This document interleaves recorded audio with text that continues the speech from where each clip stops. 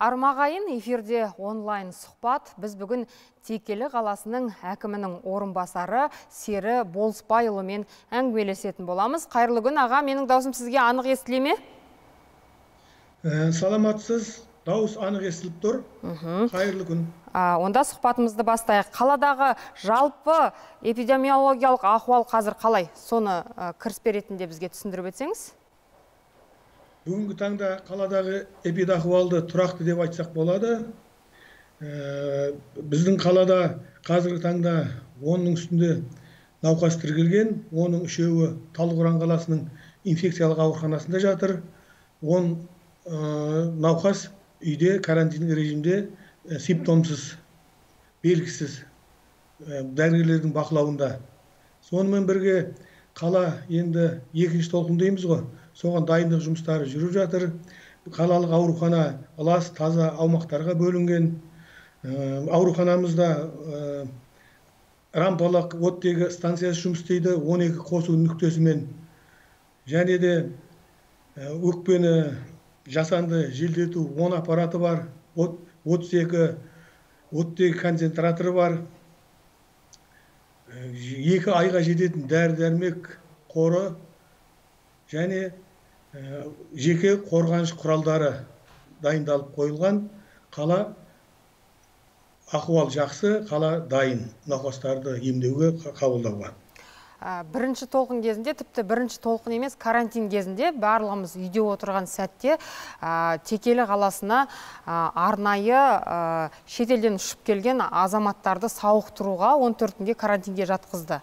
Есіңізде болса. Талдықорғанға қонған ұшақ. Сол кездегі ахуал қалай еді? Халық қарсылық білдірген жоқ па? Бізге осындай шетелден келген азаматтарды жатқызуға біз қарсымыз деген секілді. Енді бірінші толқын кезінде шынымен де біздің қалада араб әмірлігінен келген өзіміздің елдің азаматтары текелі шипажайында орналастырылды. Халық арасында түсіндіру жұмыстары жүргізілді. Карантиндік қорғау шараларының бәрін қолданып дезинфекция жасалып халық соны өз көзімен көргеннен кейін ондай қатты толқу болған жоқ. Бірінші толқын шынымен де біздің қала үшін оңай болған жоқ. Июнь айы кезінде қалалық аурухана біздің провизорлық аурухана болып 135 төсекке арналған облыстан өзіміздің қаламен қоса облыстың әр аумағынан ауру науқастарды қабылдадық. Сол кездерде шынымен де қиын болды. Бірақ қазір енді эпидахуал қалыпты жағдайда дұрыс. Енді бірінші толқын барлығымызға сабақ болды. Біз одан сабақ алдық екінші толқынға дайындалуымыз керек деп айтып жатырмыз. Бірақ енді нақтылыққа ештеңе жетпейді ғой. Нақты қандай сабақ алдыңыздар әсіресе текелі қаласы? Ә, көбінесе енді текеліге ә, науқастар сыймаған кезде талдықорғаннан көмек сұрады. Талдықорғанның қаласының ауруханасы да ол кезде толып кеткен болатын. Енді жаңа жоғарыда айтып өттім біздің орталық аурухана қалалық. Екінші толқынға толқынға науқастарды қабылдауға толық дайынбыз. Сонымен бірге халық арасында ақпараттық түсіндіру жұмыстары жүргізіліп жатыр. Қалада ә, екі мониторинг тобы құрылған. Яғни текелі қаласында бір руднич ауылдық округінде екі. Жеті сайын шығып ә, мен, ә, әртүрлі меншік түріне қарамастан нысандарды аралап осы карантин талаптарының сақталуын қадағалаудамыз.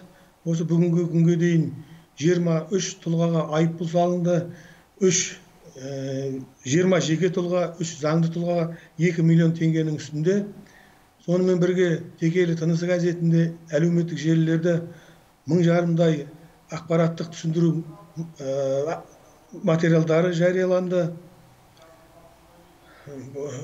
Осы дәрігер дәрігерлердің арасынан үш мобильді топ жұмыс істеуде. Өздеріңіз білесіздер алматы облысы басшылығының қолдауымен осы жедел жәрдем мәшинелері әр аудан қалаларға үлестірілді. Біздің қалаға да екі осы жедел жәрдем мәшинесі берілді. Бұрынғы жедел жәрдемнің жағдайы қалай еді? Бұрынғы жедел жәрдем төрт жедел жәрдем машинасы жұмыс істейтін еді көлігі. Қала бойынша ма? оның үшеуі облыстық бағыныштағы біреуі өзіміздің қалалық бағыныштағы. Қазір сол төрт жедел жәрдем машина көлігі қалды. Бірақ бұрынғы ескі екі машина жаңартылып екі жаңа жақсы осы жақсы осы современный жаңағы заманауи. Заманауи жедел жәрдем көлігін алып қуанып жатырмыз. Енді екі жедел жәрдемді қосқанда қазір алты жедел жәрдем көме ә, көлігімен? қалай? Төрт жедел жәрдем тобы қалады. Өйткені көлік берілгенмен оған енді жаңа дәрігерлер штаттық не бірлігі берілген жоқ қой. Осы аудан қалалардағы ескі көліктер жаңартылды. Жақсы. Ә, дұрысырақ толығырақ түсіндіріп бергеніңіз үшін рахмет. Негізі сіздердегі халықтың қанша пайызы бұл ауруға шалдықты деп есептейсіздер? Қолдарыңызда есеп бар ғой иә? Есеп бар. Бірінші толқын бізге шынымен де ауыр тиді. Жаңа айттым ғой 135 төсектік провизорлық аурухана ашылды. Біздің қала мен рудный ауылдық округі бойынша 300 адам осы бүгінгі таңға дейін осы кви науқасын жұқтырды. Оның ішінде 220-сы жаңағы симптомсыз белгісіз а 80-і белгілермен осы текелді талдықорандағы инфекциялық ауруханаларда емделді. Қазіргі күні 13 адам тіркелген деп болсақ соның үшеуі талдықорғандағы инфекциялық ауруханада ем қабылдауда оны өзіміздің қалада карантиндік режимде дәрігерлердің бақылауында. Процентпен алсақ 0,9 процентке таяп қалдық. Ол енді облыстық деңгеймен салыстырсақ жоғарғы көрсеткіш. Ә, оның бір себебі басқа аудандармен салыстырғанда енді біздің текелі қаласы шағын тығыз орналасқан қала сол ғой деп ойлаймыз. Халықтың тығыздығы да әсер етеді ғой әрине. Иә. а ковидпен күресу үшін сіздерге қанша қаржы бөлінді? Екінші толқынға бірінші толқын кезінде? Енді бірінші толқын кезінде бөлінген қаржы өз мақсатында жұмсалды игерілді. Облыс басшылығының қолдауымен осы өзіміздің бюджеттік өтінішіміз бойынша екінші толқынға дайындық ретінде 32 миллион қаржы бөлініп қазіргі таңда біздің жаңағы ауру науқастармен тікелей байланыстағы дәрігерлердің жеке мына қонақ үйлерде тұрып тамақтануына және де жұмысқа алып бару қатынасын авто жұмысқа әкелу автобуспен барлығына ақша бөлініп ол ақша жылдың аяғына дейін игеріледі. Яғни дәрігерлерге барлық жағдай жасалған. Мхм, сонымен бірге біздің мына мектептерде ә, жеті миллионға таяу қаражат бөлініп мектептердің жаңағы кезекті сыныптардың оқушылары кіретін есіктерге тоннелер қойылды кілем төсеніштер алынды ә, санитайзерлер алды тепловизорлар алынды. Сондай ә, қажетті заттарға жұмсалды. Енді екінші тоқсан басталады. Жаңа қаулы бойынша ә, үш- жүзден аспайтын мектептер штаттық режимде оқуына болады деп жатыр ғой. Ондай мектептер бар ма текелі қаласында? Бізде енді негізі барлық оқушы саны төрт мың алты жүз алпыс болса осы республикалық бас ә, сан дәрігерінің қаулысына сәйкес аз, аз ә, балалар оқитын мектептер штаттық режимде оқуға болатын. Біздің қазіргі күні осы текелі қаласындағы екінші мектеп пен рудник ауылындағы жетінші мектептің оқушылары 269 оқушы штаттық режимде оқып жатыр одан бөлек 1353 оқушы 1 мен 4 сыныптар арасындағы оқушы әр мектептерде кезекші сыныптарда 15 оқушыдан білім алуда енді жаңа дәрігерлерді үйіне алып бару жұмысқа жұмыстарын жеңілдету бойынша шаралар атқарылды деп айттыңыз. Дегенмен республиканың деңгейінде кейбір жағдайда біз дәрігерлерден шағым естіп қалып жатамыз. Оларға қосымша бөлінген қаржылардың жетпей қалып жатқандығы сіздердің дәрігерлердің жағдайы қандай? Егер қандай да бір дәрігер шағым жасаса текелі қаласынан шағым жасайтын дәрігер шықпай ма? Енді шынымен бұл індет дәрігерлердің енді қандай қоғамдағы орнын бұрыннан да бетін ашып көрсетіп берді дәрігерлерді. Енді біздің дәрігерлер бүгінгі күні 48 дәрігер яғни сол министрліктің бұйрығына сәйкес сәйкес науқастармен тікелей байланыста болған 48 дәрігер 2 миллион көлемінде жәрдемақы алды.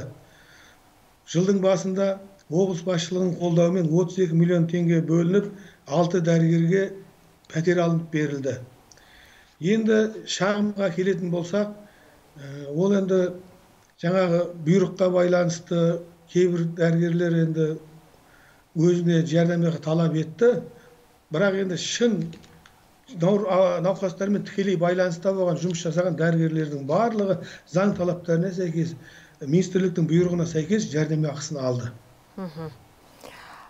Карантинге байланысты соңғы 10 күнде тіпті 15 күнде екі аптада десек болады азық түліктің қымбаттауына байланысты ақпараттар өте көп.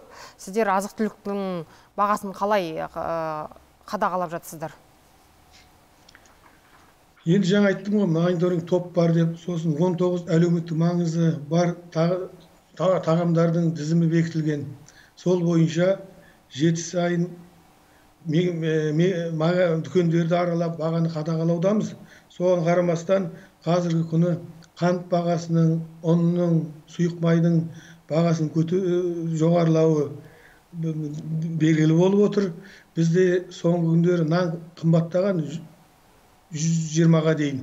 Бірақ өзіміздегі наубайхана иелерімен жиын өткізіп қазіргі күні наубайханалар нанды 95 теңгеден сатып отыр. Сонымен бірге біздің жетісу әлеуметтік кәсіпкерлік корпорациясымен жұмыс жүргізіп жатырмыз. Осы жақын күндері килограммын бірінші сорт ұнның килограммын жүз теңгеден алып осы наубайханаларға таратып беруді жоспарлап отырмыз. Сөйтіп нан бағасы 95-90 теңгеге дейін түседі деп жоспарлап отырмыз.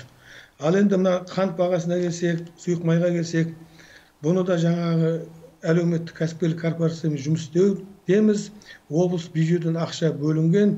Қазір конкурстық жұмыстар жүріп жатыр.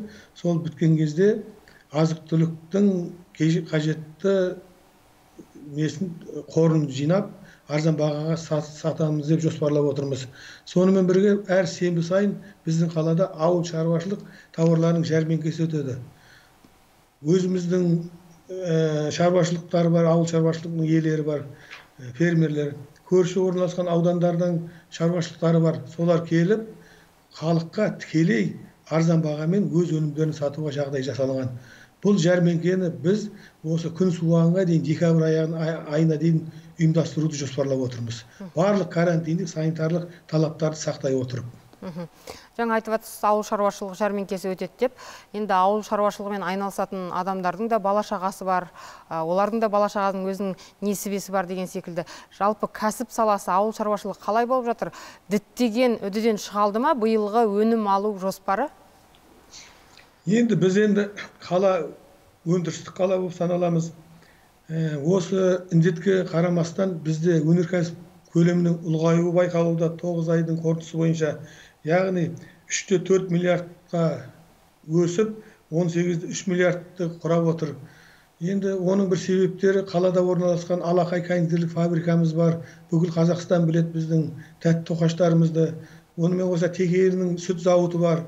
Біздің сары майды айранды ә, қаймағымызды осы жәрмеңкеге алматы астанаға барғанда сол нұр сұлтан қаласының алматы қаласының тұрғындар іздеп келіп кезекке тұрып сүйсініп алады сүйсініп жейді деп ойлаймыз осы індетке байланысты мына қазақстандық тауарларға өнім жоғарылады деп ойлаймын сондықтан біздің тауар өндірушілер ешқандай тоқтаусыз жұмыс істеді індетке қарамастан онымен бірге біздегі мына гранит мрамордан тауар өндіретін цехтарымыз зауыттарымыз да тоқтаған жоқ өздеріңізге белгілі індетке қарамастан республикада құрылыс жұмыстарын тоқтатқан жоқ. Карантин режиміне қарамастан құрылыс жұмыстары жүрді құрылыс тауарлары жабылған қалаға жасыл жол деп кедергісіз кіретін жағдай жасалды елімізде. Сондықтан енді бұл жерде ә, кішкене болса да бір кесірін кері әсерін тигізген шағын және орта бизнес яғни мына тойханаларымыз шамалы қиналыңқырап қалды. Өйткені өзіңіз білесіз республикалық облыстық бас сан дәрігерлердің қаулыларына сәйкес карантин кезінде мына той көпшілік іс шараларға тыйым салынған. Қазіргі соңғы қаулыға байланысты демалыс күндері мейрам күндері тамақтандыру орындары кафе ресторандар жабылды. Бірақ біз енді сол кісілердің арасында түсіндіру жұмыстарын жүргізіп отырмыз. Өйткені қазіргі мына індетке байланысты таразының басында адам өмірі мен денсаулығы тұр да екінші басында таразының кәсіпкерлердің табысы тұр. Сондықтан енді қиын да болса біз дұрыс шешім қабылдауымыз керек. Ә, біз біргеміз бір бірімізге жанашыр, жанашыр бола біліп бір бірімізді сақтай отырып осы аман қалуымыз керек. Ат төгіліндегі қазақ соны түсіндіріп жатырмыз. Осы көгілдір экранды пайдалана отырып осы текелі қаласының кәсіпкерлеріне ә, рахмет айтқым келеді. Осы карантиндік талаптарға түсіністікпен қарап осы заң бұзуға жол бермей жүргендеріне ә, белін бекем буып өзі кішкене әр кәсіпкердің несиесі бар оны да білеміз. Бірақ түсіністікпен қарағандарына алғысымызды айт, рахмет айтқым келеді. Ал жұмыс істеп тұрған цехтар туралы айттыңыз ғой ол жерде қырықта алпыс ә, теңдігі сақталған ба? Яғни қашықтан жұмыс істеу ә, деген секілді бізде бөлім арнайы бекітілген қаулыда. Дұрыс айтасыз қаулыда ә, меншікті санына қарамастан барлық кәсіпорындар ә, қашықтан жұмыс істеу керек. Қырықта алпыс болып мемлекеттік мекемелер елу пайыз қашықта жұмыс істеп жаса ол талаптар сақталуда. Мониторинг топтарының бір не міндетіне жатады сол кәсіпорындарға кіріп қашықтықтан жұмыс істеу талаптары ғана емес сол жұмыс істеп жатқан жұмысшыларға санитарлық карантин талаптары сақталған ба? Яғни кіреберісте кілем төсеніштері төселген ба? Санитайзерлер қойылған ба? Тоннельдер жасалған ба? Уақыт уақытымен жұмыс жасап жатқан мекемелердің желдету дезинфекциялық жұмыстары жүргізіле ма? Оның бәрі бақылауда. Карантин талаптарын бұзушылар бар ма? Өкінішке орай жаңа жоғарыда айтып өттім кездеседі мына бетперде кию перчатка кию басқа да талаптар бұзылып бүгінгі індет басталғалы бері март айынан бері осы мониторинг топтың жұмысының арқасында жиырма заңды жиырма жеке тұлғаға үш заңды тұлғаға екі миллион сексен үш мың теңгенің үстінде айыппұл салынып отыр. Бірақ күнделікті жұмыстың арқасында заң бұзушылықтар азаюда. Өйткені теледидардан бұқаралық ақпарат құралдарынан әлеуметтік желілерден ақпараттарды көріп халық түсіністікпен қарай бастады. Алда бірінші толқын көп, көп нәрсеге үйретті ғой халықты. Өйткені бірінші толқында көп адам өзінің жақынынан танысынан айырылды. Оған бәріміз куә болдық. Сондықтан қазірдің халықтың көзқарасы осы талаптарға басқаша деп айтсам болады. Жаңа мектептегі жағдайлар туралы сосын штаттық режимде оқитын мектептер жайында айтып өттіңіз. Ғаламтор мәселесі қалай сіздерде? Ғаламтор мәселесі біздің ғаламтормен жұмыс па? Жалпы мәселе туындаған жоқ па? Ғаламтор бізде барлық жерде үлкен мәселе болып кейбір. интернет па ғаламтор?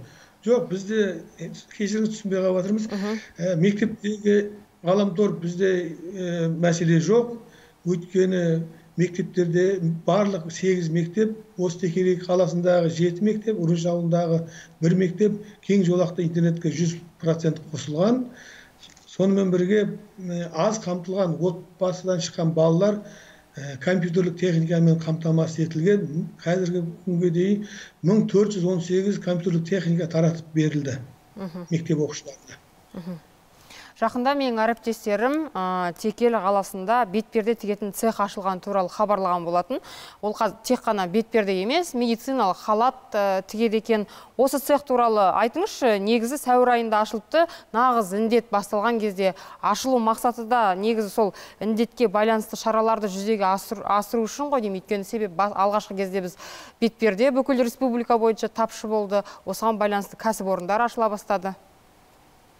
Иә дұрыс айтасыз бізде текстилайн деген балалардың киімін тігетін осы жерде кәсіпорын бар еді осы індетке байланысты сол кезде ә, бетперде тігумен айналысты ә, одан бері қарай мына техноавиа групп деген талдықорғандағы кәсіпорын осы текеліде өзінің филиалын ашып қазіргі таңда бетперде ғана емес қорғаныш халаттарын тігумен айналысып жатыр.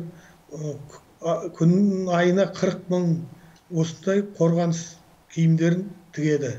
Көтерме саудада бетперденің бағасы 25-35 теңгенің аралығында саудалануда. Бұл кәсіпорынды мемлекет қаржыландырған ба? Жоқ бұл жеке кәсіпорын жеке заңды тұлғаның меншігіндегі кәсіпорын. Олардың сақтық шарасы қандай? Айта беріңіз иә толықтырып. Бұл жеке болғанмен енді мемлекеттік тапсырыс бойынша да жұмыс істейді. Және де меншік нысанына қарамастан кәсіпорындардың тапсырысымен жұмыс істеп қалада екі жүзге таяу жаңа жұмыс орны ашылып біздің осы текелі қаласының тұрғындары сол жерде тігінші болып жұмыс істеуде. Біз а бұл жерде сақтық шаралар барлық кәсіпорындағы сияқты карантиндік санитарлық талаптар бақылауға алынған. Кіреберісте жаңағыдай кілем төсеніштер төселген санитарлық ә, санитайзерлер қойылған тепловизорлармен келген жұмысшының ә, келген уақытта температуралары дене қызулары өлшеніп арнайы журналдарға жазылады. Оның барлығы бақылауда қатаң. Енді жетісу өлкесі десе біз ә, бірден текелінді көрсеткіміз келіп тұрады. Түнде тастаған дән таңда өніп шығатын тамаша жер ғой ә, текелі. Осыдан бұрнағы уақыттарда раушан гүлдері голландық раушан гүлдерін өсіретін жылыжай ашылған болатын. Соңғы кезде осы жылыжай туралы онша біз ақпарат естімейміз. Осының жағдайын айтып беріңізші кәсіпорын туралы ақыры әңгіме бастаған екенбіз. Енді шынымен де жер жаннаты жетісу десек өзіміз текеліктер сол жер жаннатының төрі текелі деп мақтанамыз табиғаты ауа райы өте қолайлы.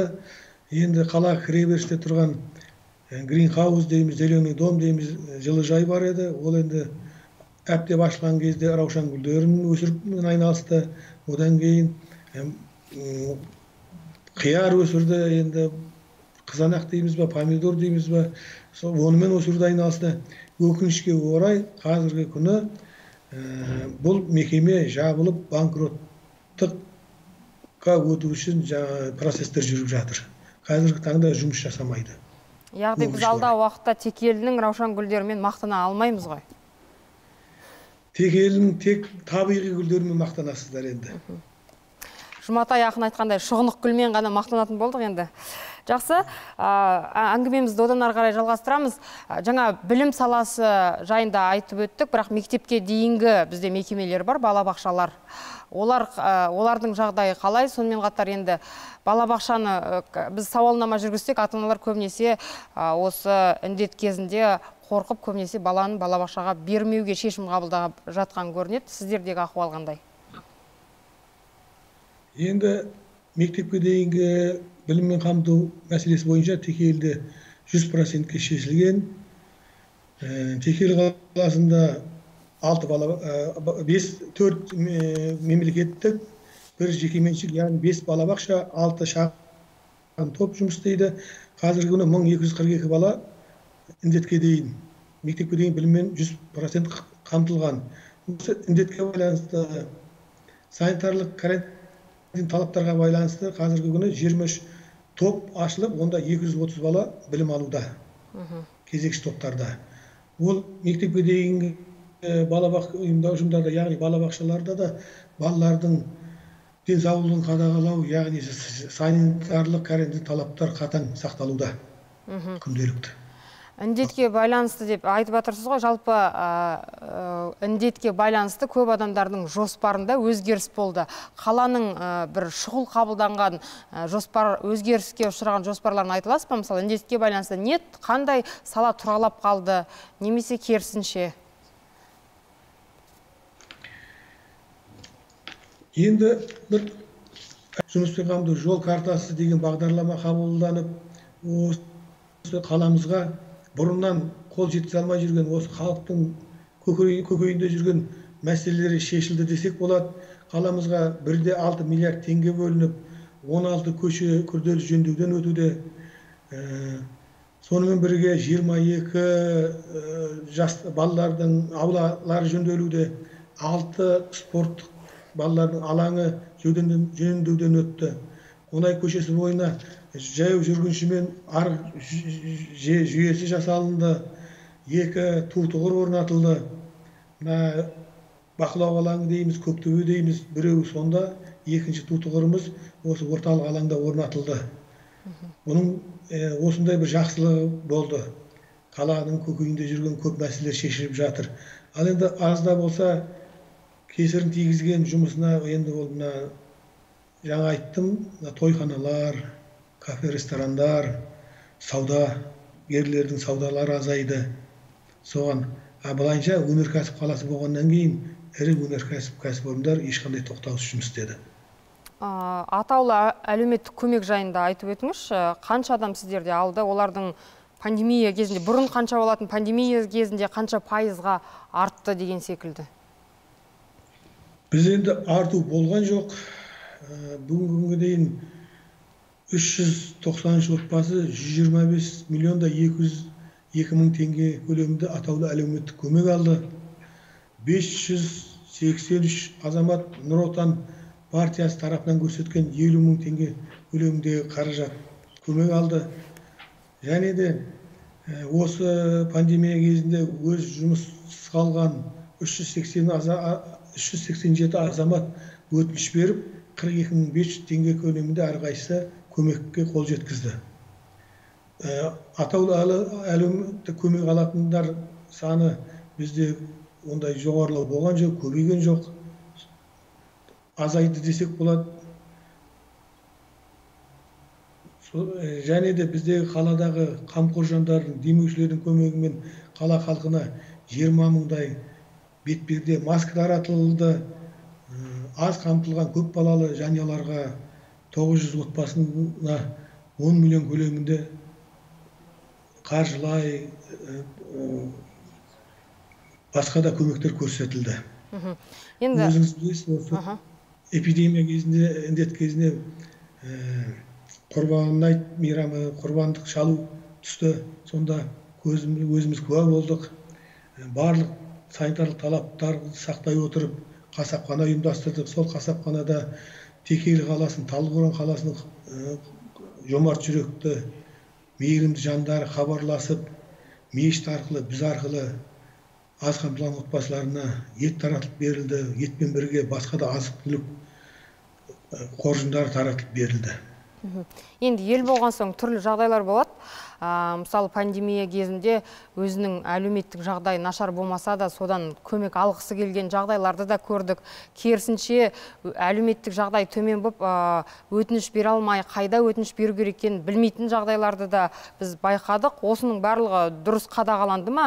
Бөлінген қаржы деген жерге жете алды ма деген дүниені білгім келеді. Ондай арнайы бақылау сіздерде жүргізілді ма?